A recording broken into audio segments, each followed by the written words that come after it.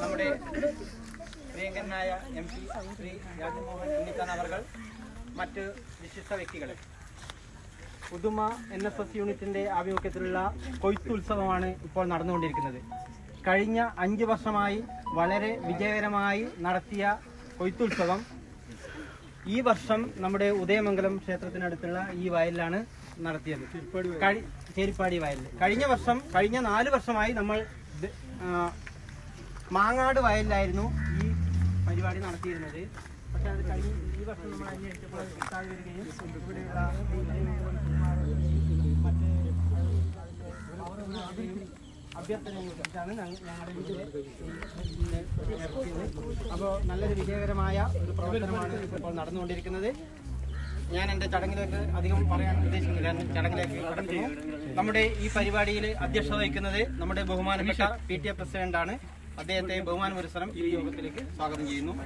ഇതിന്റെ ഔദ്യോഗികമായ ഉദ്ഘാടനം നിർവഹിക്കുന്നത് നമ്മുടെ പ്രിയങ്കരനായ എം പി ശ്രീ രാജ്മോഹൻ ഉണ്ണിത്താൻ അവർകളാണ് അദ്ദേഹത്തെ ഈ യോഗത്തിലേക്ക് സഹർഷം സ്വാഗതം ചെയ്യുന്നു. അറിയിക്കുന്ന ബ്ലോക്ക് പഞ്ചായത്ത് മെമ്പർ അൻവർ മാങ്ങാട് അവർ കുഞ്ഞിരാമ മാസ്റ്റർ അവർ അതുപോലെ തന്നെ ഗ്രാമപഞ്ചായത്ത് അംഗങ്ങളായ പ്രഭാകരൻ തെക്കേക്കര ചന്ദ്രൻ നാലാം വാതുക്കൽ അവർ സൈനബ അബൂബക്കർ എന്നിവരെയും യോഗത്തിലേക്ക് master master Udayamangalam Sukumaran K V Balakrishnan ഈ ഉദയമംഗലം ക്ഷേത്രത്തിന്റെ പ്രസിഡന്റ് ഗീതാകൃഷ്ണൻ ജില്ലാ പഞ്ചായത്ത് മുൻ vice president Ashraf K V senior assistant അതുകൂടാതെ നമ്മുടെ ഇതിന്റെ ഈ എൻ എസ് എസിന്റെ കോർഡിനേറ്റർ നമ്മുടെ പ്രിയങ്കരനായ രൂപേഷ് മാഷ് മറ്റ് എല്ലാവരെയും വിനയപുരസ്സരം സ്വാഗതം ചെയ്തുകൊണ്ട് അധ്യക്ഷ വഹിക്കാൻ വേണ്ടി ആദരിക്കുന്ന ആദ്യം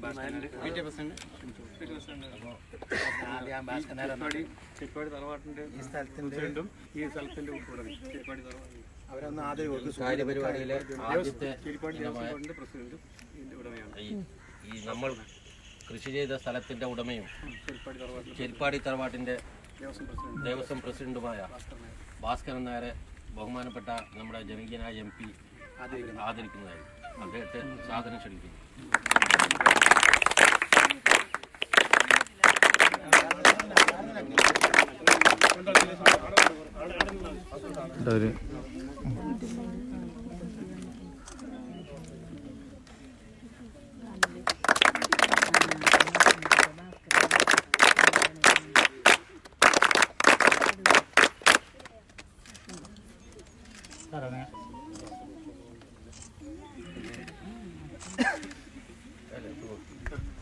ബഹുമാന്യനായ നമ്മുടെ കാസർഗോഡിന്റെ എം പി ബ്ലോക്ക് പഞ്ചായത്ത് മെമ്പർമാർ ഗ്രാമപഞ്ചായത്ത് മെമ്പർമാർ മറ്റു പ്രിൻസിപ്പൽ തുടങ്ങിയ വിശിഷ്ട വ്യക്തികളെ നിറഞ്ഞ എൻ എസ് എസിന്റെ കുട്ടികളെ. ഏകദേശം അഞ്ച് വർഷത്തോളമായി ഉദുമ ഗവൺമെന്റ് ഹയർ സെക്കൻഡറി സ്കൂളിലെ എൻ എസ് എസ് യൂണിറ്റ് ഈ കൃഷി മേഖലയിൽ വർഷകാലത്ത് സജീവമായി പ്രവർത്തിച്ചുകൊണ്ടിരിക്കുന്നു.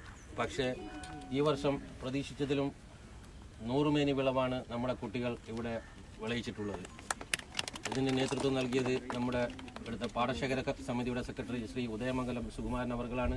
അദ്ദേഹത്തിന്റെയും program N S S coordinator Shri Rupesh മാഷുടെയും നേതൃത്വത്തിൽ എൻ എസ് എസിന്റെ വളണ്ടിയർമാർ വളരെ നല്ല രീതിയിൽ നെൽ വിളയിച്ചെടുക്കാൻ പറ്റിയിട്ടുണ്ട്. അദ്ദേഹത്തിന് അവരെ ഞാൻ അഭിനന്ദിക്കുകയാണ്.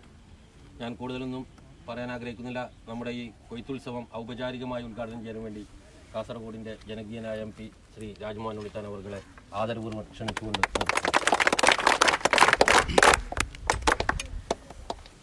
ബഹുമാനപ്പെട്ട ഗവൺമെന്റ് ഹയർ സെക്കൻഡറി സ്കൂൾ പുതുമ.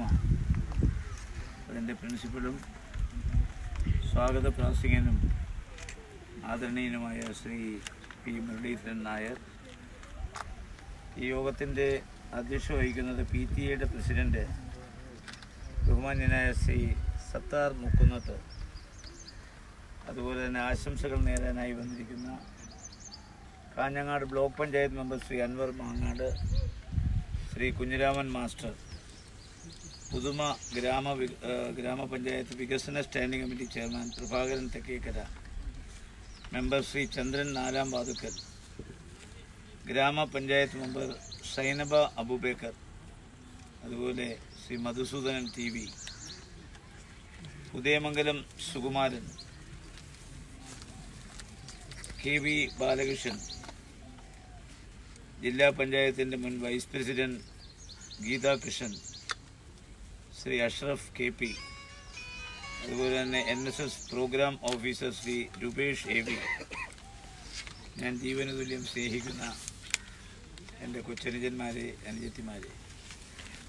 വളരെയധികം സന്തോഷത്തോടും അതിലേറെ ചാരിതാർത്ഥ്യത്തോടും കൂടിയാണ് ഈ കൊത്ത് കൊയ്ത്തുത്സവം ഉദ്ഘാടനം ചെയ്യാൻ ഞാനിവിടെ വന്നത്.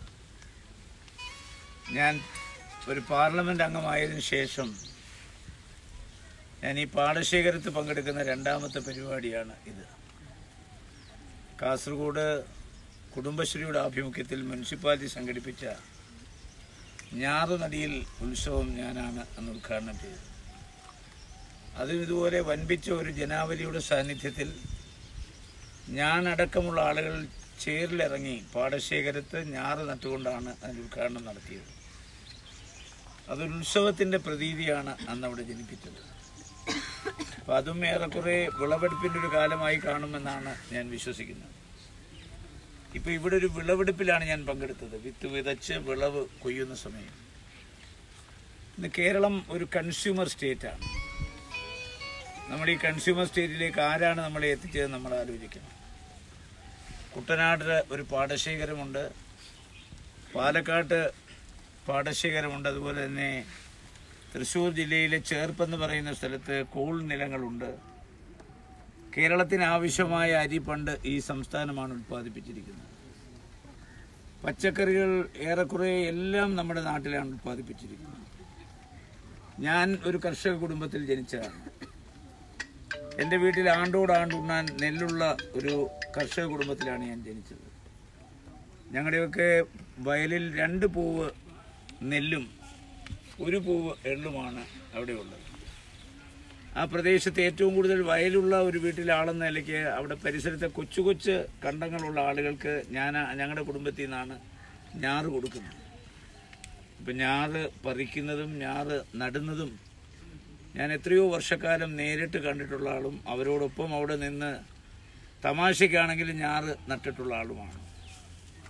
എള്ളിന് രാവിലെ വളമെന്ന് പറയുന്ന മഞ്ഞുതുള്ളികൾ വീണ് കിടക്കുന്ന എള്ളിന്റെ പുറത്ത് മണ്ണ് വാരി വിതറി അല്ലെങ്കിൽ ചാമ്പലുകൾ വിതറിയിട്ടാണ് അതിന്റെ വളം നമ്മൾ കൊടുക്കുന്നത്. പണ്ട് എന്റെ അച്ഛൻ രാവിലെ പാടശേഖരത്ത് പോകുമ്പോൾ ഞങ്ങളെ എല്ലാവരെയും വിളിക്കും ഞങ്ങളും ആ കൊച്ചു വെളുപ്പാൻ കാലത്ത് സൂര്യൻ ഉദിക്കുന്നതിന് മുമ്പ് ഈ മഴത്തുള്ളികൾ അല്ലെങ്കിൽ മഞ്ഞുതുള്ളികൾ മായുന്നതിന് മുമ്പ് ഞങ്ങൾ ഈ ഇതൊക്കെയൊക്കെ എള്ള് വളർത്തിയെടുത്തിട്ടുണ്ട്. ഒരു പത്താറായിരം രൂപയുടെ ചീര ഞങ്ങളുടെ നാലഞ്ച് തെങ്ങിന്റെ ചുവട്ടിൽ അച്ഛൻ കൃഷി ചെയ്ത് വിൽക്കാറുണ്ട്. ഞങ്ങളുടെ ആവശ്യം കഴിഞ്ഞിട്ടാണ്. അതുപോലെ തന്നെ ആവശ്യത്തിന് പയർ ഈ എള്ള് പറിച്ചു കഴിഞ്ഞാൽ വയലിടും മരച്ചീനിയിടും അതുപോലെ തന്നെ പാവൽ പടവലം ചേമ്പ് ചേന കാച്ചിൽ ഇതെല്ലാം നമ്മൾ മലയാളത്തിൽ ഉപ്പ് തൊട്ട് കർപ്പൂരം വരെന്ന് പറയും. ഉപ്പും കർപ്പൂരവും ഒഴിച്ച് ഏറെക്കുറെ പച്ചക്കറികളും അതുപോലെ തന്നെ അരിയും എള്ളും ഒക്കെയാണ്. നാളികേരം ഉണങ്ങിക്കഴിഞ്ഞാൽ അത് ആട്ടി വെളിച്ചെണ്ണയാക്കും പിണ്ണാക്ക് പശുവിന് കൊടുക്കും. എള്ള് കരിപ്പെട്ടിയിട്ട് ആട്ടിയാൽ എള്ള് എണ്ണ കിട്ടും. എള്ളിന്റെ പിണ്ണാക്ക് പശുവിനും കൊടുക്കും ഞങ്ങൾ കുറേ കഴിക്കും കരിപ്പെട്ടിയിട്ട് ആട്ടുന്ന പിണ്ണാക്ക്. എള്ളുണ്ട അരിയുണ്ട് ഇതൊക്കെ. കാരണം ഇന്ന് എന്റെ വീട്ടിലെ വയലുകളെല്ലാം ഞങ്ങളാരും നികത്തിയില്ല. പക്ഷേ കൊച്ചു കൊച്ചു വയലുകളൊക്കെ നികത്തിയത് വഴി ഞങ്ങളുടെ പാടശേഖരങ്ങളിലെല്ലാം ഈ കിളികൾ കാക്കകൾ ഇതൊക്കെ ഓരോ ഫലങ്ങൾ കൊത്തിക്കൊണ്ടിട്ട് അതൊക്കെ വലിയ വൃക്ഷങ്ങളായി മാറി. ഇപ്പം ഞങ്ങളുടെ നിലങ്ങളൊക്കെ കണ്ടാൽ ഏതാണ്ട് വനമാണെന്ന് തോന്നിപ്പോവും അത്ര വലിയ മരങ്ങൾ പിടിച്ചിരിക്കുകയാണ് ഇതാരും കുഴിച്ചു വെച്ചവും കിളിച്ചു ഒന്നുമില്ല. ഇതൊക്കെ പക്ഷികൾ കൊണ്ടിട്ട വിത്തുകൾ കിളിച്ചാണ് ഇങ്ങനെയൊക്കെ വന്നത്. അപ്പം ഞാൻ പറഞ്ഞത് ഇന്ന് ഞാൻ എല്ലാ സാധനവും വാങ്ങുകയാണ്.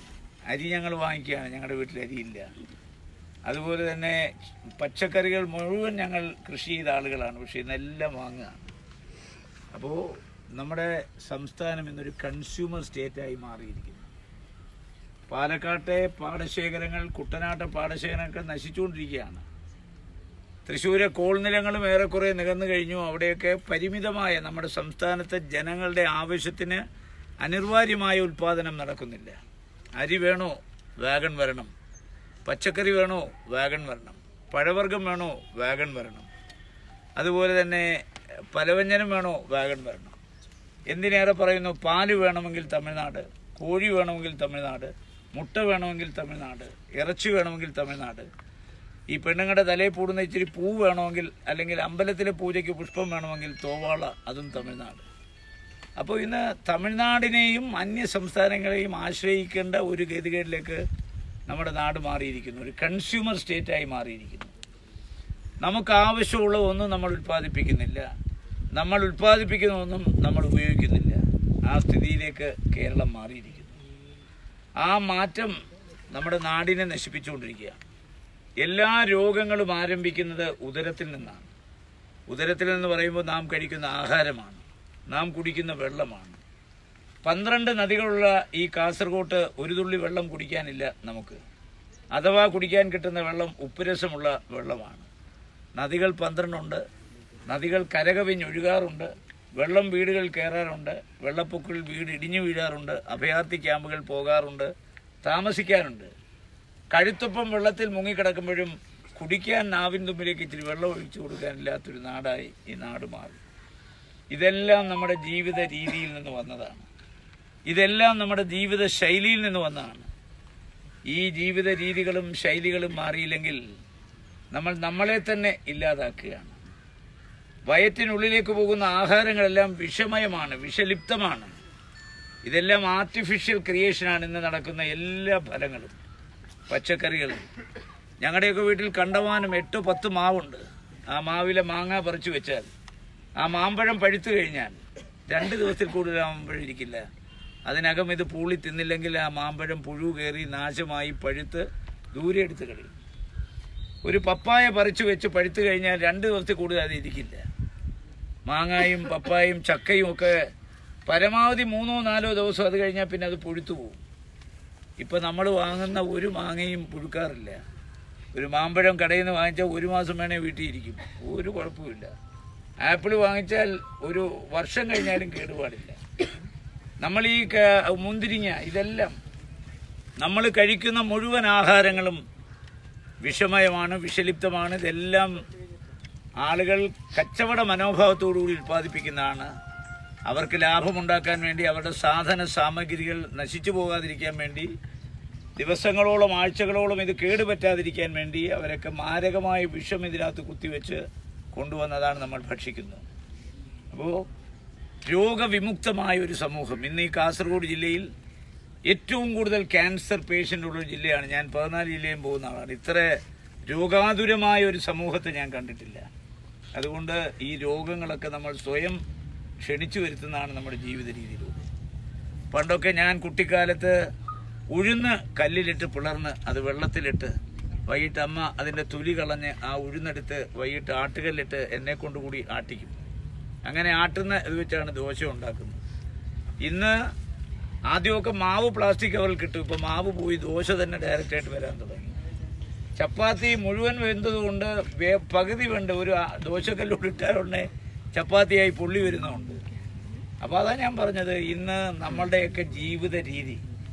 ഞങ്ങളൊക്കെ പഠിക്കുന്ന കാലത്ത് ഈ എള്ളിന്റെ കാലത്ത് അന്നാണ് മാർച്ച് മാസത്തിൽ പരീക്ഷ വരുന്നത് പഠിക്കാൻ അമ്മ പറഞ്ഞ് കേട്ടില്ലെങ്കിൽ എള്ളിന്റെ ഒരെണ്ണം എടുത്തൊരു അടി തന്നാൽ ചൂരലിനേക്കാൾ പൊള്ളുന്ന വേദനയാണ് ആ അടിക്ക്. കാര്യം അന്നത്തെ ഒരു ജീവിത രീതി ശൈലി നമ്മൾ സ്വയം കൃഷി ചെയ്ത് അതിൽ നിന്ന് ഉത്പാദിപ്പിക്കുന്ന അരിയും അതുപോലെ തന്നെ ആഹാര സാധനം ഉപയോഗിച്ചിരുന്ന ആ കാലം.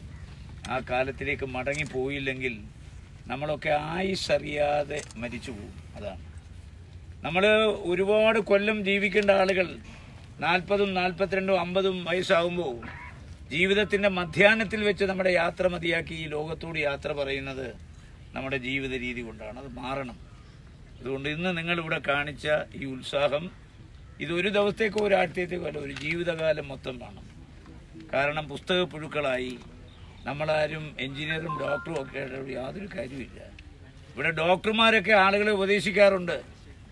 കൊളസ്ട്രോൾ കുറയ്ക്കാൻ.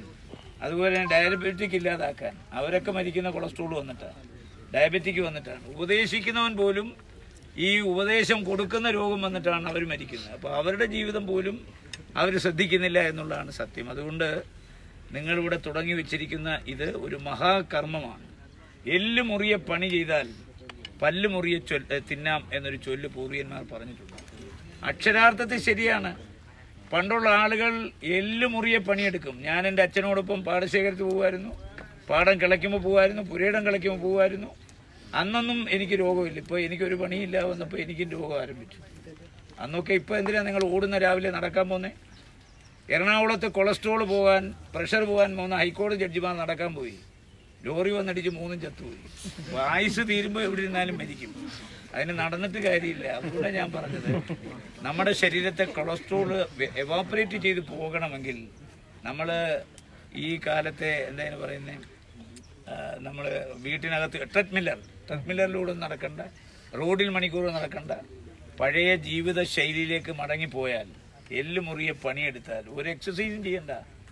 വ്യായാമം ഇല്ലായ്മയാണ് നമ്മുടെ ശരീരത്തിൽ കൊളസ്ട്രോൾ അടിഞ്ഞുകൂടാനും രക്തം ക്ലോട്ട് ചെയ്യാനും നമുക്ക് ഹാർട്ടിന്റെ വാൽവ് തകരാറാകാനും ഒക്കെ തരാമെന്ന് നമ്മുടെ അധ്വാനം ഇല്ലായ്മയാണ് അതുകൊണ്ട് പഴയ പെണ്ണുങ്ങൾ വീട്ടിന്റെ മുറ്റം തൂക്കും. അപ്പോൾ തൂക്കുമ്പോൾ നടുവ് കുനിഞ്ഞ് ജോലി ചെയ്യും. അവർ നെല്ല് കുത്തും കുത്തുമ്പോൾ കൈ മേളിലോട്ട് പോവും താഴോട്ട് പോവും ഇതൊക്കെയാണ് എക്സസൈസ് അരി ആട്ടും. ആട്ടുമ്പോൾ ശരീരത്തിന്റെ എല്ലാ അവയവങ്ങളും ഇന്നത്തെ നമ്മൾ നടുവിന് കൈയും പിടിച്ച് ഇങ്ങനെ കറങ്ങുന്നതിന് ഒരു അരി ആട്ടിയാൽ മതി നെല്ല് കുത്തിയാൽ മതി അരച്ചാൽ മതി. ഇതെല്ലാം മെക്കനൈസ്ഡ് ആയി മായർ മാറിയതോടുകൂടി. നമ്മളൊരു യാന്ത്രികമായ യുഗത്തിലാണ്. ഒരു മെക്കനൈസ്ഡ് യുഗത്തിലാണ്. ആ മെക്കനൈസ്ഡ് യുഗത്തിൽ നിന്ന് ആ യാന്ത്രിക യുഗത്തിൽ നിന്ന് പഴയകാല ജീവിത ശൈലിയിലേക്ക് രീതിയിലേക്ക് മടങ്ങിപ്പോണം. പോയാൽ ആർക്കും ഒരു രോഗവും വരില്ല. പണ്ടൊക്കെ ഞങ്ങളുടെ നാട്ടിലൊക്കെ ഒരാൾ പെട്ടെന്ന് മരിച്ചാൽ ആളുകൾ പറയും മാടൻ മാടനടിച്ച് നിന്ന് നിപ്പി അടിച്ച് താഴെ ഇട്ടെന്ന് പറയും.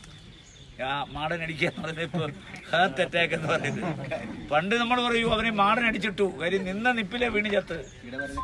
ആ കാറ്റ് വീശി ഇപ്പൊ കാർഡിയാക്ക് അറസ്റ്റ് അല്ലെങ്കിൽ ഹാർട്ട് അറ്റാക്ക് വന്ന ആളുകൾ മരിക്കുന്നു. ഇത് മരിക്കുന്ന എല്ലാം നമ്മുടെ ജീവിത രീതിയിൽ നിന്നാണ് കാർഡിയാക്ക് അറസ്റ്റ് വരുന്നത്.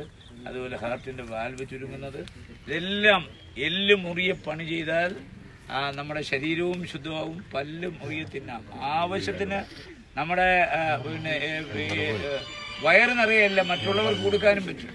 അതുകൊണ്ട് നിങ്ങൾ ആരംഭിച്ചിരിക്കുന്ന ഈ ദൗത്യം ഇത് അനസ്യൂതം ഇത് അഭംഗുരം തുടരണം. നിങ്ങളുടെ വരും തലമുറയെ നിങ്ങളൊക്കെ കല്യാണം കഴിച്ചു വരുമ്പോൾ നിങ്ങളൊക്കെ ഇത് തുടരണം. ഉള്ള നിങ്ങളുടെ ഭൂമി ഉള്ളെടുത്ത്. ഇപ്പൊ ഭൂമി ഇല്ലെങ്കിൽ നിങ്ങൾ ഫ്ളാറ്റിലാണ് താമസിക്കുന്നതിൽ ടെറസിൽ പച്ചക്കറികൾ കൃഷി ചെയ്യാനുള്ള സംവിധാനം ആധുനിക കാലഘട്ടത്തിലുണ്ട്. അങ്ങനെ കൃഷി ചെയ്ത് നമ്മൾ ഉൽപ്പാദിപ്പിക്കുന്ന നമുക്ക് വിശ്വസിക്കാൻ കഴിയുന്ന പച്ചക്കറികളും ആ സാധനങ്ങളും പക്ഷേ ജീവിക്കണം.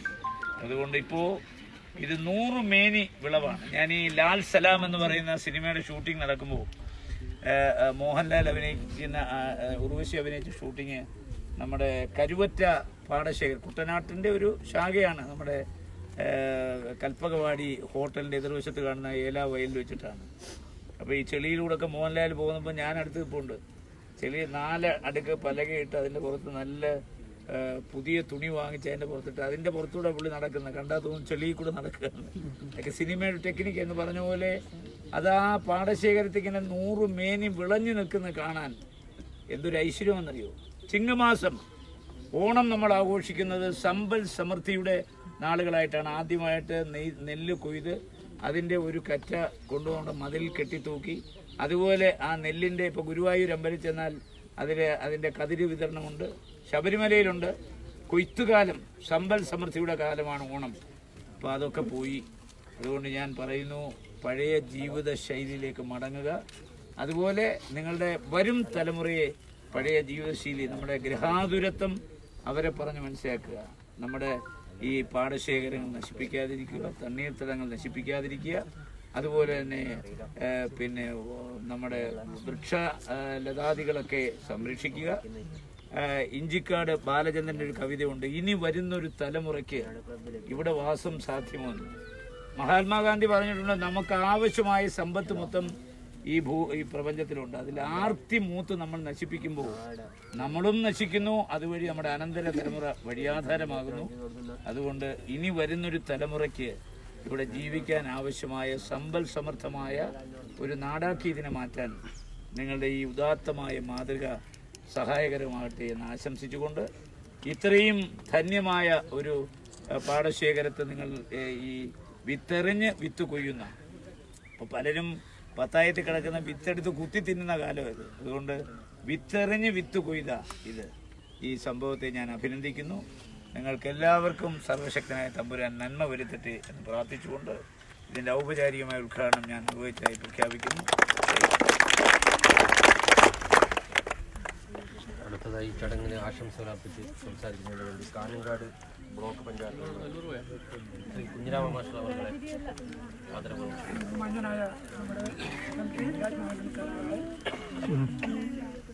Higher secondary